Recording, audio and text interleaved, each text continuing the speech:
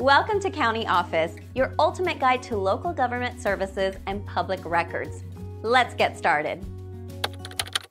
Haven't paid taxes in two years? Failing to pay taxes can lead to serious consequences. The Internal Revenue Service, or IRS, has the authority to impose penalties for unpaid taxes. These penalties can accumulate over time, increasing the total amount owed. If you have not filed a tax return for two years, the IRS may classify your case as noncompliance.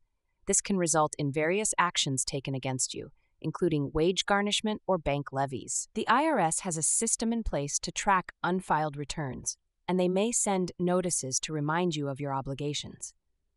It is important to note that tax debts do not simply disappear. The IRS has a statute of limitations on collecting taxes, but this does not apply if you have not filed a return. In some cases, the IRS may file a substitute return on your behalf, which may not reflect your actual financial situation. You may qualify for payment plans or other relief options if facing financial hardship. However, it is crucial to address the issue as soon as possible. Consulting with a tax professional can provide guidance tailored to your situation.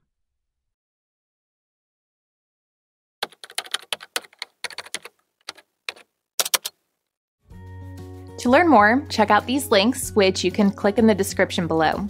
And feel free to comment your questions. We're here to help. Thanks for tuning into our video. Please like and subscribe and leave a comment below. See you in the next video.